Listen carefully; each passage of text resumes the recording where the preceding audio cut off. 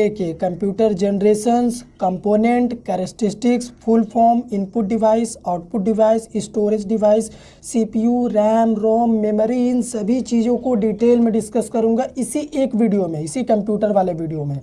Full explanation इसीलिए मैंने लिखा है। सबसे पहले कंप्यूटर क्या होता है डेफिनेशन से स्टार्ट कर रहे फिर आगे डिस्कस कर रहे computer is an electronic device computer एक इलेक्ट्रॉनिक डिवाइस है। इलेक्ट्रॉनिक डिवाइस इसे इसलिए कहा गया है क्योंकि ये इलेक्ट्रिक से चलता है। इसे चलाने के लिए आपको क्या करना है? बिजली देना पड़ेगा। अपने घर का पावर सप्लाई करना होगा कंप्यूटर के पास।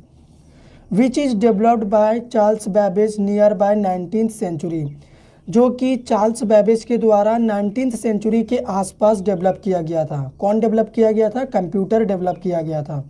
ये जो नेम आपको दिख रहा है, इस नेम को थोड़ा सा ध्यान से देखिएगा, चार्ल्स बैबेज। एग्ज़ाम में ये नेम अक्सर पूछा जाता है कंप्यूटर के एमसीक्यू वाले क्वेश्चन में, ठीक है? तो ये हो गया कंप्यूटर क्या होता है। अभी कंप्यूटर का फ़ंक्शन क्या क्या है, यानी कंप्यूटर काम कैसे करता है क्या क्या काम करता है, उसे देखो। It take inputs data from the input devices computer क्या करता है? इनपुट डिवाइसेस से इनपुट को लेता है, यानी कीबोर्ड और माउस इनपुट डिवाइस यही होता है, इसी से इनपुट लेगा। स्टोर्स उस इनपुट को स्टोर करता है एंड प्रोसेस्ड इनपुट डेटा को प्रोसेस करता है। प्रोसेस करने के बाद क्या करेगा? एंड प्रोड्यूस आउटपुट आपके आउटपुट स्क्रीन में यानी आउटपुट डिवाइस में आपको आउटपुट दे देगा। ये सिंपल सा काम होता है अपने कंप्यूटर का। फिगर में देख लो। सबसे पहले तो इनपुट लेगा इनपुट डिवाइस यानी कीबोर्ड माउस से, जहाँ से हम देंगे।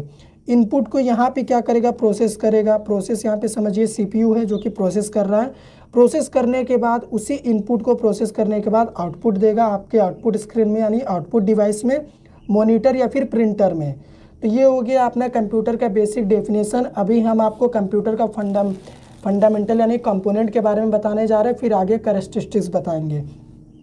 कंपोनेंट क्या होता है? कंप्यूटर का वो देखो, दो होता है, एक होता है हार्डवेयर और सेकेंड होता है सॉफ्टवेयर हार्डवेयर, सॉफ्टवेयर क्या होते हैं, इनमें क्या डिफरेंस है, इसके ऊपर एक वीडियो मैंने बनाया है, वो वीडियो आपको इसी वीडियो के ऊपर में आई बटन में मिल जाएगा। हार्डवेयर वो कंपोनेंट होता है कंप्यूटर का जिसे आप टच कर सकते हो, यानी फ़िज़िकल कंपोनेंट सबसे पहला होता है इनपुट डिवाइस इनपुट डिवाइस मतलब कीबोर्ड माउस सेकेंड होता है आउटपुट डिवाइस यानी आपका मोनीटर प्रिंटर ये सभी आउटपुट डिवाइस है जहाँ से आउटपुट आता है। स्टोरेज डिवाइस जहाँ पे आप अपने डेटा को स्टोर करके रख सकते हो, इसे कंप्यूटर का ब्रेन भी कहा जाता है, ठीक है? याददाश्त जहाँ पे ये डेटा इन्फॉर्मेशन को स्टोर करके रखता है। मेमोरी होता है, प्राइमरी मेमोरी, सेकेंडरी मेमोरी, वही होता है स्टोरेज डिवाइस। ये हो गया सीपीयू। सीपीयू को तो कंप्यूटर का ब्रेन कहा जाता है, यही सब कुछ है कंप्यूटर के लिए, सब काम यही करता है। इसके बारे में आगे डिटेल में डिस्कस कर रहे हैं। फ़िलहाल यहाँ पे सॉफ्टवेयर को देखिए, सेकेंड कंपोनेंट होता है अपना कंप्यूटर का। सॉफ्टवेयर भी दो पार्ट में, एक होता है एप्लीकेशन सॉफ्टवेयर जिसे यूज़र के लिए बनाया जाता है, जैसे एम एस ऑफ़िस सेकेंड होता है सिस्टम सॉफ्टवेयर जो कि सिस्टम के लिए बनाया जाता है सिस्टम में यूज़ किया जाता है, जैसे विंडोज़ है ना? ऑपरेटिंग सिस्टम लिनक्स ये सभी चीज़ें। तो अभी हम आपको कैरेक्टरिस्टिक्स बता रहे हैं कंपोनेंट हो गया अपना, उसके बाद फुल फॉर्म जनरेशन्स भी डिस्कस करेंगे। अभी देखिए यहाँ पे हम आपको बता रहे हैं कैरेस्टिस्टिक्स ऑफ़ कंप्यूटर यानी कंप्यूटर का विशेषता क्या है। जब आप कंप्यूटर सिस्टम यूज़ करते होंगे तो आपने नोटिस किया होगा। सबसे पहला होता है स्पीड स्पीड कंप्यूटर का बहुत ज़्यादा होता है। आपने नोटिस किया होगा, जब आप कोई काम देते होगे तो बहुत जल्दी ये करके दे देगा आपको। सेकेंड होता है एक्यूरेसी कंप्यूटर अपने रिज़ल्ट को लेके बहुत ज़्यादा एक्यूरेट रहता है, यानी एकदम हंड्रेड परसेंट वो करेक्ट रिज़ल्ट देता है। कोई रॉन्ग आउटपुट नहीं देगा ये। थर्ड होता है अपना storage. Computer large amount of information या फिर डेटा को स्टोर करके रख सकता है। इसकी मेमोरी बहुत ज़्यादा होती है। टीबी में होती है आजकल तो। ठीक है, टेराबाइट। फोर्थ होता है क्विक डिसीज़न। कंप्यूटर का जो डिसीज़न लेने का कैपेसिटी है, वो बहुत ज़्यादा होता है। मान लीजिए आपका डेटा कंप्यूटर के किसी भी पार्ट में रखा हो, आप एक बार कंप्यूटर के सर्च बार में सर्च कर दो, वो कहीं ना कहीं से उठा के एक सेकेंड में आपको वो डेटा प्रोवाइड कर देगा। लास्ट देखो जो कि बहुत ज़्यादा इंपॉर्टेंट है रिपीटेड कैपेबिलिटी आप अगर एक इंसान को एक ही काम को हज़ार बार करने के लिए दोगे तो वो क्या करेगा? बोर हो जाएगा, उसका स्पीड कम हो जाएगा और वो हो सकता है वो गलत काम कर दे, ठीक है? उसका काम जो राइट ना हो, लेकिन कंप्यूटर में ये सब नहीं होता। वो क्या करेगा? रिपीटेड काम को उसी स्पीड से, उसी एक्यूरेसी के साथ रिपीटेड टाइम तक बिना बोर हुए करके दे देता है। कमांड पे काम करता है ना कंप्यूटर इसीलिए। अभी फुल फॉर्म देखो कंप्यूटर का, जो कि एग्ज़ाम के लिए बहुत इंपॉर्टेंट है या फिर कोई पूछ भी सकता आपसे। Commonly operating machine purposely use for technologies and educational research technology और एजुकेशनल रिसर्च के लिए जो ज़्यादातर यूज़ होने वाला मशीन है, वो होता है कंप्यूटर जो कि आपको इसके फुल फॉर्म में दिख सकता है। अभी सीपीयू देखो। सीपीयू जो कि कंप्यूटर का हार्ट होता है, दिल होता है, जो कि सारा काम वही करता है। इसका फुल फॉर्म होता है central processing unit. RAM RAM होता है मेमोरी। इसका फुल फॉर्म होता है रैंडम एक्सेस मेमोरी। रोम क्या होता है? रोम भी एक मेमोरी होता है, जिसका फुल फॉर्म होता है read only memory. RAM, ROM के ऊपर मैंने एक सेपरेट वीडियो लेक्चर बनाया है, वो वीडियो इस वीडियो के एंड में आपको मिल जाएगा, उसमें आपको ये क्या होता है मैंने डिस्कस किया है।